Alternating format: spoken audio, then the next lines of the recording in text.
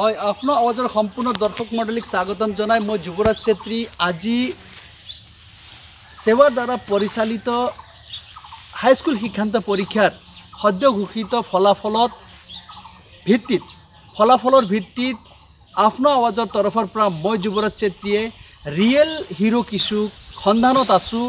আজি মই উপস্থিত হৈছোঁহি ঢেকীয়াজুলি অঞ্চলৰ মাজৰমাৰী গাঁও পঞ্চায়তৰ গোসাঁইভেটি অঞ্চলত। আজি গোসাঁইভেটিত মই লগ ধৰিব বিচাৰিছোঁ ৰিয়েল হিৰ' জনি বাৰুৱাক। মই কেমেৰা পাৰ্চন আব্দুল সহায়ত জনি বৰুৱাৰ ঘৰুৱা পৰিৱেশ লগতে তেওঁৰ পাৰিবাৰিক স্থিতিবিলাক দেখাবলৈ যত্ন কৰিছোঁ।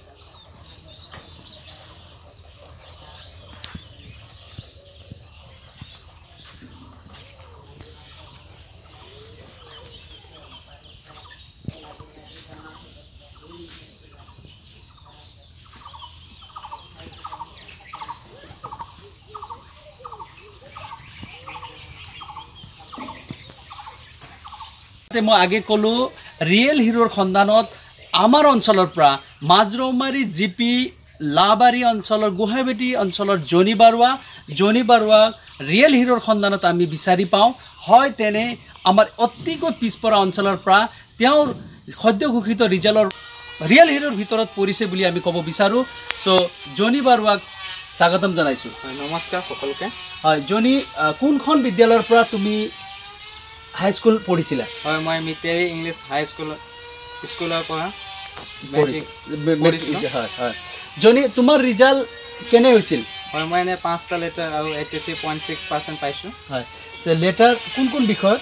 হয় ছায়েন্স মেথছ ছ'চিয়েল ইংলিছ আৰু geography geography M I L কি আছিল? হয় এম আইল আছামিছ আছিল। আছামিজ এম আইল এম আইলত কিমান পোৱা হ'ল? মই ছেভেণ্টি ছেভেণ্টি মাৰ্কছ ছেভেণ্টি দহ মাৰ্কৰ কাৰণে টেন মাৰ্কছৰ কাৰণে লেটাৰ নহ'ল হয়নে? হয়। চ' পাৰ্চেণ্টেজ কিমান? এইটি থ্ৰী পইণ্ট ছিক্স হয়। জনি বাৰুৱা আমি অলৰেডি কৈছোঁৱে পাঁচনৈ নদীৰ ওপৰত থকা অতিকৈ পিছপৰা অঞ্চলৰ এখন বিদ্যালয় Miteri English School. Miteri English School লগতেই পৰিয়ালৰ স্থিতিও আমি দেখাইছোঁ। পৰি পৰিয়াল লগতে ঘৰৰ পৰিৱেশো প্ৰায় দৰিদ্ৰ। সীমাৰেখাৰ তলৰ বুলি ক'ব পাৰোঁ। সেয়াই আমি কৈছোঁ ৰিয়েল হিৰ'ৰ কেটেগৰীত জনি বাৰুৱাক আমি সন্ধানত পাইছোঁ।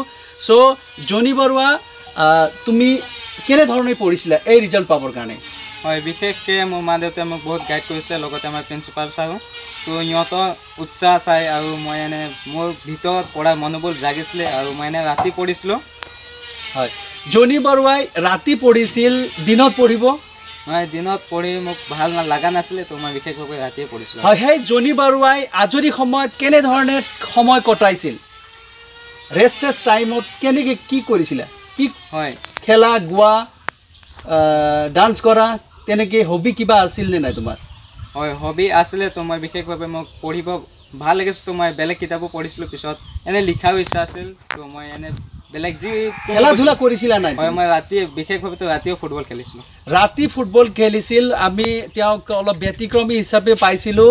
তেওঁ ৰাতি ফুটবল খেলিছিল কাৰণ কি?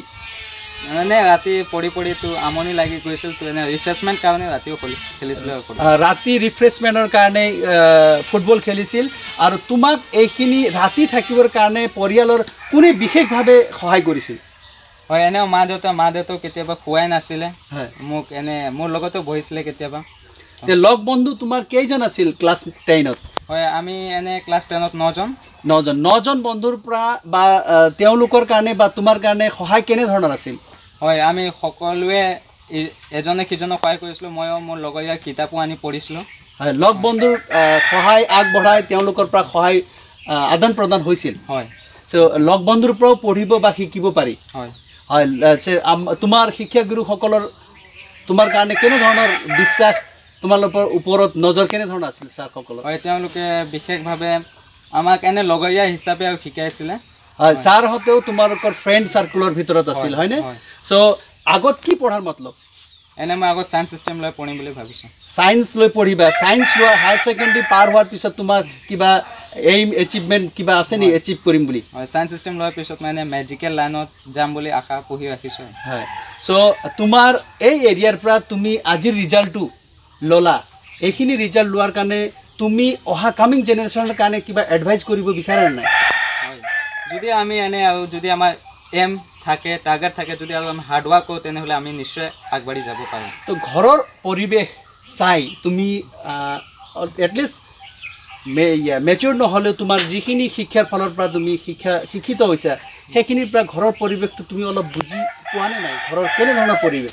হয় এনে আমাৰ মায়ে প্ৰাইভেট বাগানত কাম কৰে আৰু দেউতাই বেমাৰী আৰু খেতিয়ে মাতো আছে দেউতা। হয় চ' কিছু খেতি কৰে দেউতাই দেউতা বেমাৰী মায়ে ব্যক্তিগত চাহ বাগানত কাম কৰে তাৰ মাজতে জনী বাৰুৱাই এইখিনি শিক্ষা হাইস্কুল শিক্ষান্ত পৰীক্ষাত অৰ্জন কৰিব পাৰিলে eighty three point six percent six percent লৈ তেওঁক সঁচাই আমি ৰিয়েল হেৰুৰ কেটেগৰীত লৈছোঁ।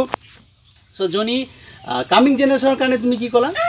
হয় তেওঁলোকে এটা ৰাস্তা হয় এম আৰু হাৰ্ডৱাৰ্ক কৰি গ'লে থেংক ইউ জনী।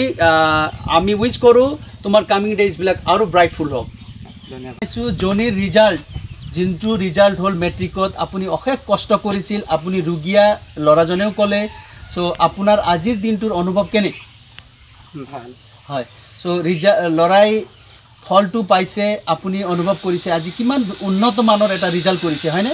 হয়। চ' অহা দিনত ল'ৰাই ক'ত পঢ়িব? এই কত ইচ্ছা কৰে তাতে দিব। হয়। ল'ৰাজনে য'ত ইচ্ছা কৰে তাতে দিব। হয়। হয়। ত' আপুনি ল'ৰাজনৰ ফলাফলৰ ওপৰত আৰু গাঁও অঞ্চল পিছপৰা আপুনি আজি অহা ল'ৰা ছোৱালীৰ ক্ষেত্ৰত কিবা ক'ব নেকি? না সেই ল'ৰা ছোৱালীৰ ওপৰততো আৰু কি ক'ম? সিহঁতে ইচ্ছা কৰি গ'লে সেই ইচ্ছাটোতো পূৰণ কৰিব লাগিব হয় ধন্যবাদ। হয়। চ' আমি জনী বাৰুৱাৰ মাকক পাওঁ। চ' খুৰী স্বাগতম জনাইছোঁ। জনীয়ে কৈছে ৰাতি পঢ়িছিল সি। হয় ত' তে ৰাতি পঢ়োঁতে আপোনালোকে গম পাইছিল নে নাই? সি পঢ়ি আছে বুলি? কেতিয়াবা গম পায় কেতিয়াবা গম নাপায়। হয়। সেই টোপনি লাগিলে হেৰি বলটো অকলাই খেলি আছিলে। ফুটবল খেলে? ফুটবল ফুটবল খেলি আছিলে। আৰু আৰু তেতিয়া টোপনি ভাঙি যায় তেতিয়া সি মুখ চুখ ধুই অলপ চাহ পানী গৰম কৰি খাই আকৌ পঢ়িব চাহৰ লগত কি দিছিলে আপুনি তাক খাব? আমি একো দিয়া নাছিলে। অঁ একো দিয়া নাছিলে। চাহ খাই আকৌ পঢ়ে। আকৌ পঢ়ে হয়। এনেকা পঢ়িছিলে মানে। ল'ৰাৰ আজিৰ যোনটো ফলাফল পালে আপোনাৰ অনুভৱে কি কয়? কেনেকুৱা লাগিছে আপোনাক? আমাক বহুত খুচি লাগিছে এতিয়া। বহুত খুচি লাগিলে। আকৌ এতিয়া পঢ়াবৰ কাৰণে ইচ্ছা কৰি আছে ক'ত পঢ়ে পঢ়িলে ভাল হ'ব বুলিহে মই আশা কৰি আছোঁ। হয় ধন্যবাদ। অহা দিন জনীৰ উজ্জ্বল ভৱিষ্যত কামনা কৰিছোঁ। চ' আপোনাৰ আৱাজৰ সম্পূৰ্ণ দৰ্শক মণ্ডলীক এই মুহূৰ্ত জনী বাৰুৱাত গৃহ প্ৰাংগণৰ পৰা আপোনালোকক এৰিছোঁ। হয় নমস্কাৰ।